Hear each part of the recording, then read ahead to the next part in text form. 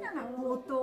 Puto mo noy, orange. Puto, puto mo orange. orange. puto puti, puto pink. Ay, orange.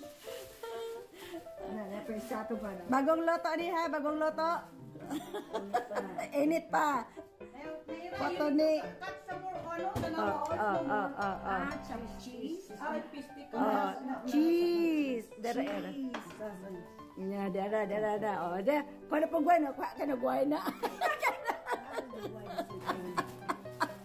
kena guan lagi kau ni. Oh, tenang, tenang.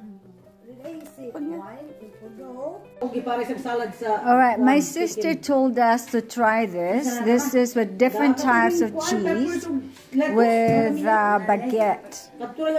This is what kind of cheese is? That Gouda, Gouda. and then there's another one that we don't. I don't It's a know. new, it's a good one. I don't know what's the name, but Yeah, we forgot the name because it was already.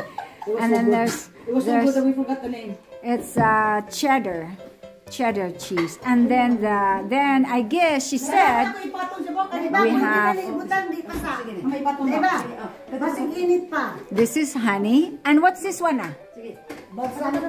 Oh, balsamic vinegar. So we have to dip this cheese, any cheese, to this too. Okay, I'll try.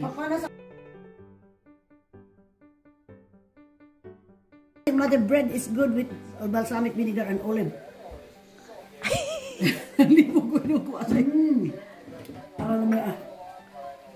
Ah,